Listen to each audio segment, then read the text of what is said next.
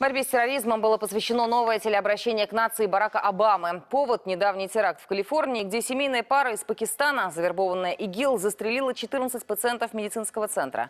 Обращение Обамы транслировали из овального кабинета Белого дома. Такое случается очень редко и призвано подчеркнуть важность речи. Однако на этот раз, по мнению экспертов, американский президент не сказал ничего нового, ограничившись общими высокопарными фразами.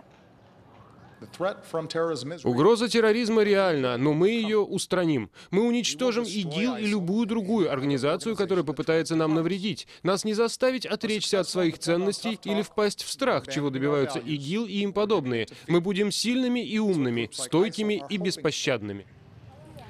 Политические оппоненты Обамы уже подвергли его выступление жесточайшей критике. По мнению республиканцев, нынешней администрации в борьбе с ИГИЛ не хватает ни идей, ни решимости. Красноречивее всех, как всегда, оказался медиамагнат Дональд Трамп, написавший в Твиттере «И это все? Нам нужен новый президент. Срочно».